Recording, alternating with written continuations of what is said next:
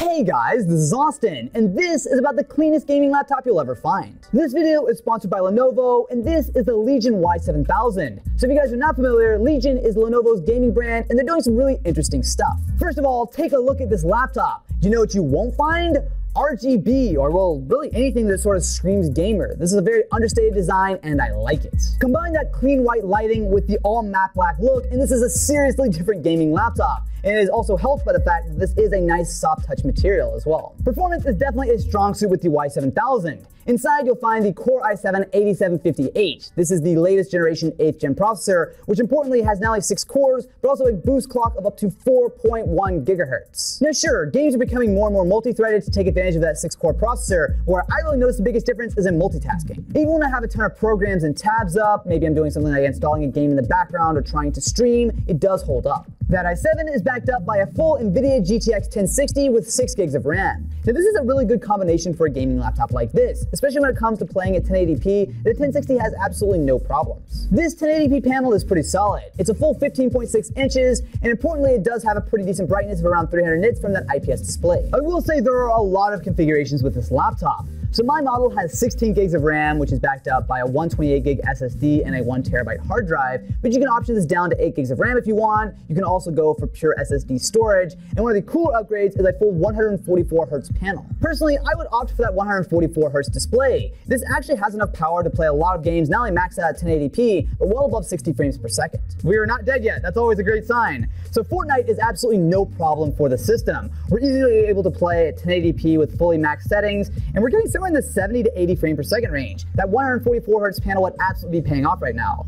So, you guys see I didn't die there? Austin, can we seriously play something else? Wait, wait, why not? Don't you want to see more Fortnite? No. What do you want to play?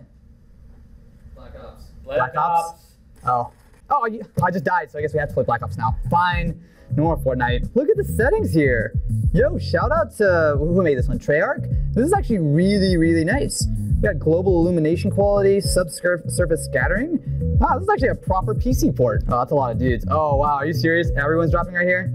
Oh, this is bad. This is really bad. Listen to those speakers. It actually sounds really good. So this does have Harman Kardon audio. It has a pair of front-firing speakers, which sound pretty good to me. Performance seems to be pretty solid. So we are running with pretty much full maxed out settings at 1080p, and right now I'm getting about 80 frames. The lowest I've really seen though is around the 60 mark. Where, where, where is that coming from? Well, actually shoot him.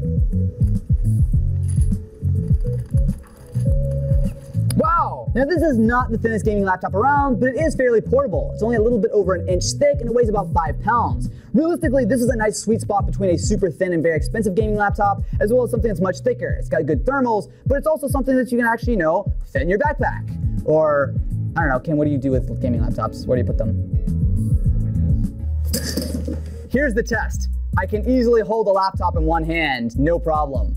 That, my friends, is the gaming laptop portability test. One of the interesting design decisions is to slightly raise the screen and the hinge to give more room for the thermals underneath. So basically all the hot air is being exhausted out the back and it still does leave room for most of your ports. The selection is pretty solid. So there is a USB-C port, which sadly doesn't support Thunderbolt 3, but it's still appreciated. We do have mini display port, USB-A, as well as HDMI and gigabit ethernet. And on the left and the right side of the laptop, we have another pair of USB-A ports, giving you a grand total of three. That's especially appreciated because even though it's nice to have a lot of the ports around back, sometimes, you know, you want to plug in a flash drive to the side of the laptop. The keyboard is classic Lenovo, which is to say it's about as good as it gets for a laptop. Not only do the keys have that nice, very familiar shape, but importantly, the feel is pretty much on point, not only for typing, but especially for gaming. The Lenovo Legion Y7000 is a seriously dope gaming laptop. Not only does it have plenty of performance for 1080p gaming and streaming, but importantly, not only does it look nice, but it won't break the bank. Definitely worth a look.